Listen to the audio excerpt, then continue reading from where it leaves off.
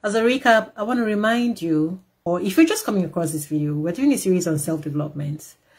It's been, we're two videos in now.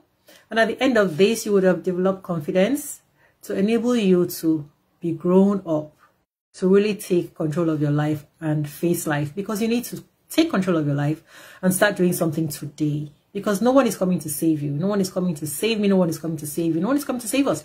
Not even God is coming to save you because you've been crying about things for five years, 10 years, 15 years, 20 years, 20 years, 25, even more. But you need to know that a lot of power lies in your hands, but you just didn't realize it. And if you haven't watched the first two videos in this series, please do so. I'm going to leave the links in the bottom of the, in the description box under this video. Make sure that you see the first two videos and then continue on on this series this is just a recap.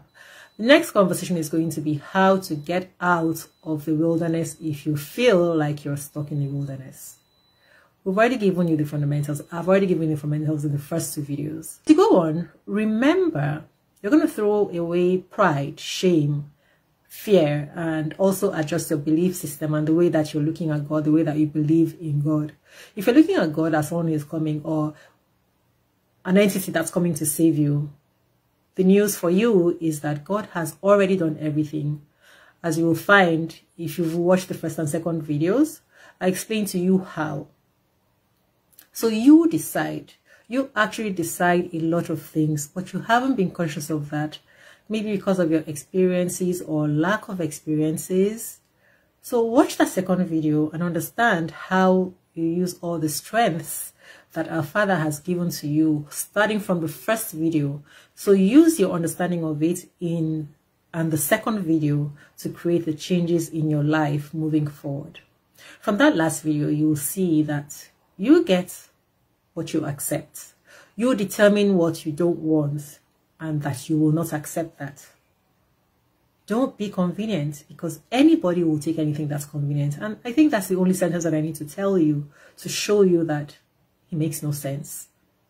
Sometimes you think to yourself, oh, they might change their mind, but it won't happen when you're convenient because then there is no need for them to change. Everything that you do comes from something in your mind. Even when you think that it's not for a reason, even when you're thinking that you're not doing it for any reason, there is always something in your mind that causes you to reject or accept something. The same thing for all of us. So we need to get into the habit of asking ourselves, what is the reason why I'm taking the stance regarding this situation. If a situation is not favorable to you, you need to ask yourself the reason why you have accepted it. And when you do, that reason is what you are supposed to be working on because that is what is pointing you to an area of yourself that you need to work on and to develop. So let's go now and find out how to get ourselves out of the wilderness when we're feeling like we're in the wilderness. Remember to like this video, share it, and if you haven't subscribed to this channel, please do so. See you on your way out of the wilderness in the next video.